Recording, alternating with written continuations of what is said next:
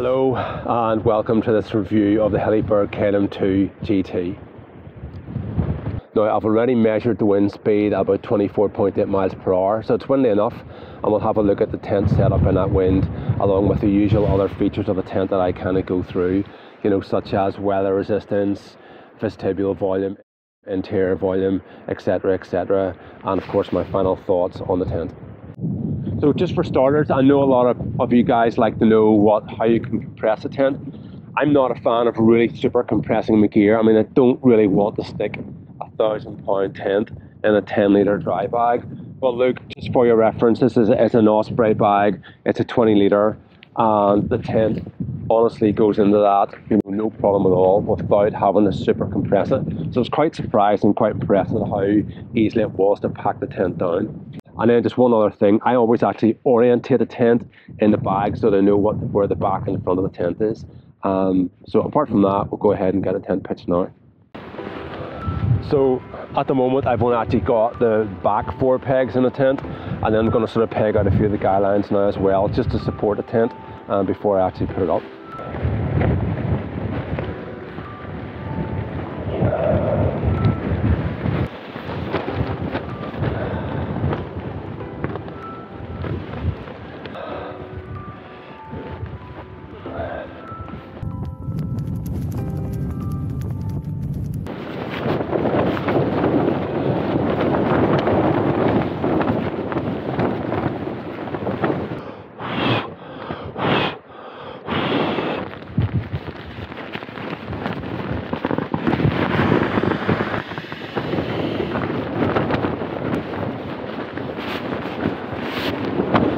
So I'm actually just noticing here that even kind of like kneeling, I'm six foot one, and my head's just touching the roof there, but it's not it's not annoying me in any way.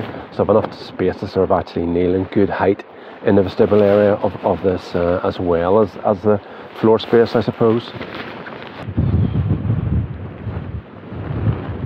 I mean, in this vestibule here, um, you know, there just is so much room. I mean, I'm sitting here again, sort of kind of in a position, and I really have so much room around me. I mean, if I needed to take my jacket off or do anything, it's just so easy to do.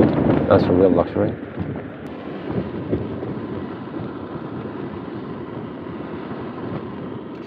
This is really the first time in reality that I have experienced uh, one of the GT tents. Um, and I'm really impressed. You know, the weather at the minute is a bit windy, as you've seen, and it's just nice having such good shelter, you know, uh, from that and being very, very isolated from it. So just looking at the rear vestibule volume, just with a 60 litre pack in it. So vestibule volume here is actually really, really good. I mean, there's good length, width, and actual height. And again, the front vestibule volume, I mean, absolutely fantastic. I mean, I've actually really, really, really enjoyed coming up here and having this space. I mean, it's been a real luxury. As I said before, I'm six foot one, and that's sort of the space you know that I would have to sit at the side. Uh, if I come in the middle, you know, I really have got you know a good amount of, of height there, and space wise, you know, the tent uh, is wider in the middle and tapers at the end but there's still tons of room here to work and actually do and, and do things. So now you know my head's pretty much just touching the, the door and you can see where my feet are. I mean the length of this is incredible and this is all down to the vertical doors. It just makes such a difference. So just sitting up in the back of the tent there definitely is a, a, good two or three inches difference, you know, in height wise, but I can still sit up in the in the back of the tent. I'm quite comfortable with that. But just obviously the Kaitum 2, if you were thinking about that, is this height at either end, whereas the 2 GT, because of the vestibule, you've actually got a larger or longer pole at the front, so the front of the inner tent is a little bit higher as well in the GT. And swinged around here to the front, you know, so you can see there's a fair wee bit of difference, you know, you know, height wise. But uh, the room in this tent, you know, is really, really good at the front just because of the um, the longer pole. So now on to my favourite subject in a four season tent, and that is ventilation. And the ventilation in this tent is fabulous. Uh, this just opens up right like this. you know, and you've got fantastic ventilation, and I can roll this up.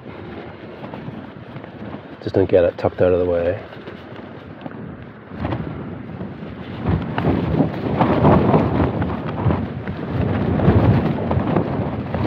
So really big vents and it's exactly the same at the other end. So here we have this vertical door that I was telling you about and it just makes so much difference to the length of a tent. I mean, it, it, it's, it's very, very, very hard to, to describe. And I would honestly say, in my opinion, it makes a tent about this much longer know, in reality and in real world terms. The other big advantage of, of, a, of a tent like this that has a twin vestibule is that whenever it's windy, the vestibule here is taking the wind.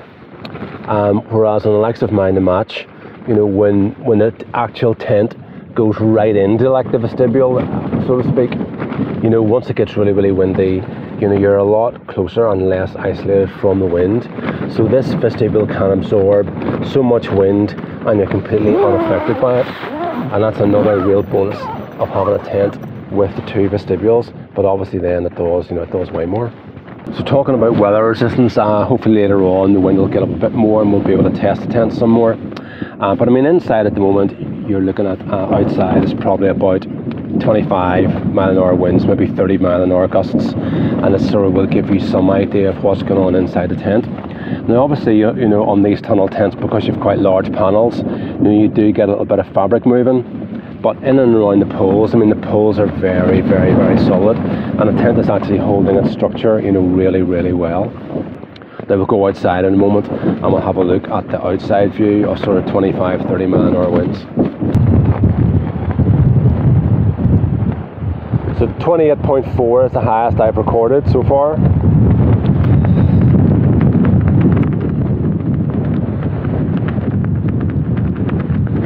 So the weather resistance here is actually very, very good. I still can't get over the space in the front of this tent.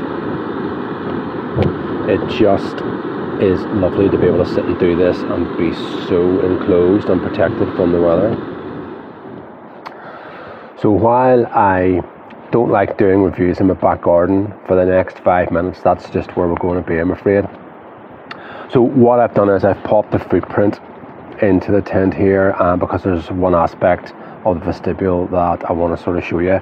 Um, I know I'm spending a lot of time on the porch and vestibule, but at the end of the day, it is a GT tent, and that's why I'm doing that.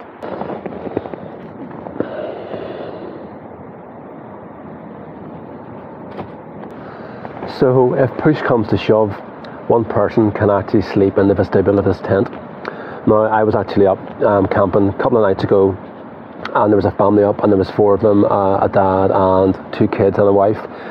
And the tent was similar in size to this. It also had quite a large vestibule in it, and the dad ended up actually he just slept in the in the vestibule. So either they fell out and had an argument, and he was um, sent out here, or else they had planned that. I'm not so sure, but just you know, if you're thinking about it, it's something else that this tent can do. And if I'm lying down here on my back,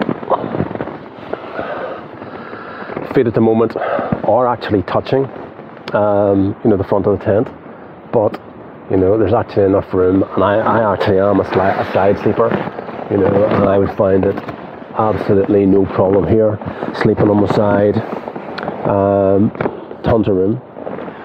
So before I actually deliver my final thoughts on this tent, I want to say a big thank you to Kevin Small for lending me the tent. Um, I've lots of sub- subscribers who are obviously watching my videos and offer to let me to let me review their tents, and honestly, it's really really appreciated. So, the final thoughts on this tent. Um, the first surprise I got was actually how easily I can compress it down uh, into a 20 litre dry bag, no problem at all. Secondly, the 3.8 kilograms, I've carried it into the mountains twice and had no issues with that either obviously I've done a lot of talking about the vestibule um, and it's it's almost got me thinking about a GT tent. The twin vestibule thing and the vertical walls, you know, deliver an, an insane amount of room inside a tent uh, compared to the actual specification. Having a vestibule that you can pitch into the wind, no matter what direction the wind is coming from, uh, it just makes a tent really, really versatile because you can sleep sleep with your head at one end and have a vertical door and be away from the wind, or you can sleep with your with your head at the other end if the wind direction is is different. Um, so no matter where the wind is coming from or the slope of the ground, it's really, really adaptable and versatile, much more than what Mound and Match would be.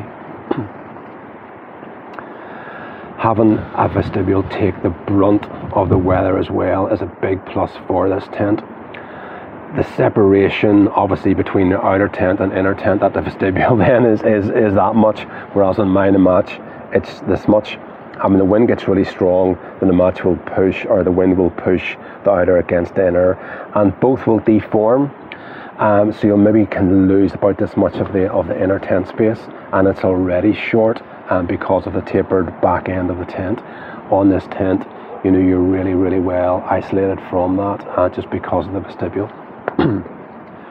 for the likes of, of, of you know having a really high quality camp a tent for car camping or just when you have a little bit more space um, you know this is, is absolutely a fantastic option.